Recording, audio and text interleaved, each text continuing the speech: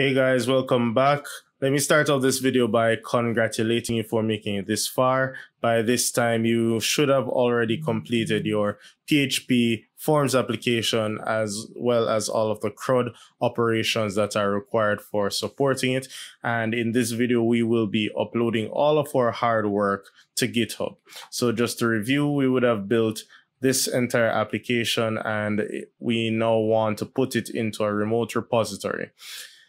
Now, while I'm doing this at pretty much the end of all of our work, it is actually advisable that you do this as early as possible because as we were working on it, if our machine crash, we would have only had one copy of it and that would have been on our machine.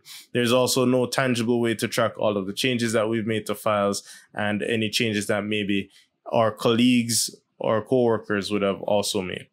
So Git being a source control mechanism is an excellent way to track all the changes and keep a spare copy of your project at all times.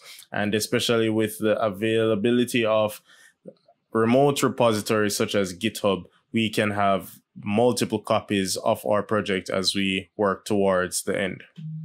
Now in this video, we are going to use GitHub for desktop, so you can just find that. And by now, I'm assuming that you would have already installed and configured that. In GitHub desktop, I'm going to go to File, and I'm going to add local repository. Now I'm going to navigate to the project that we have. So our project is in C XAMPP htdocs or wherever you installed XAMPP, but in htdocs is where you should have had your attendance project. So we're just going to select that folder and then it's going to warn us that there is no repository in this folder. Would you like to create one? And we will just tick that, create it. And so we get this screen where we can just go ahead and click create. Once that operation is done, our Git repository is created locally, and then we'll be asked if we want to publish it to GitHub. So we can just go ahead and click publish repository. We maintain the name and I'm going to untick the part that keeps this code private because I want it public so everybody who has followed these lessons can have access to the code. And then we publish repository. Now I go to GitHub web and log in and I will see my repository listed right here for access. So I can just click it and having done that, I will see all of my files nicely put down on this remote storage space. While we're here though, I'll just use the time to add a quick description to the project so that when you come across it, you know exactly what it is. All right, so we just added our, I just added a description real quickly and I think that's it. That's it for adding our project to GitHub. Do remember that from here we can track all changes. So I didn't make a change and the change I didn't make was to add the button for back to list to our edit page. So I'm going to make that change right now. And what I'm going to do is duplicate this button and I'm going to take out BTN block because I don't want it to stretch right across. But then this one, I'm going to have back to list to the left and I'm going to leave save changes to the right and this one is going to be BTN default. And well well actually this should all be an anchor tag so let me just change this quickly.